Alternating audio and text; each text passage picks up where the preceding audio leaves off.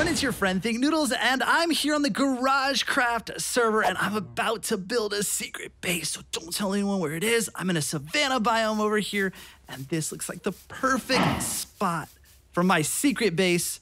Let's get in here.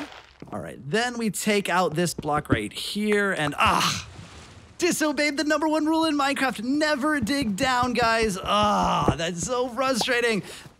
You guys, you guys hear that? What is that? Wait, is that is that Jonas Valanciunas? Dude, get it. What? This is hey, hey. This is my this is my secret base. Go on, get get get get get get get get. God, that guy. All right, this is looking pretty good down here. Oh, it's, Jonas is back. What is he doing? Oh, he's gonna craft something. Nice. What is he crafting? Wait, Jonas, is this? Is he? Did he break? Dude, do you even know how to play this game? You're pressing the wrong button, man. Uh oh, there's a skeleton. Let's kill that. Okay, Jonas is now gone and he took my crafting table. This guy, this guy needs to learn how to play. All right, guys, I've got the secret base. Now, there's a few things about the entrance here. First of all, it's marked by this acacia tree. That's why I dug right here. So we know where it is and we can put dirt on the front when we leave and no one will know. Now, if they do find it, here's a little trick. So make it look like you've got a nice little secret base here. Then we've got this down below and we can hide it.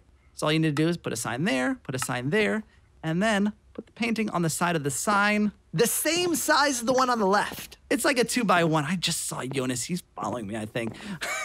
Let's see. So if you go in the one on the left, there's nothing there, but on the right, ta-da, there's a secret entrance. And down here, so here's my chest room, and I made a little looks like trap doors on the left and on the right and uh, made it look with a little lighting glitch make it look pretty. And then of course my most valuable stuff.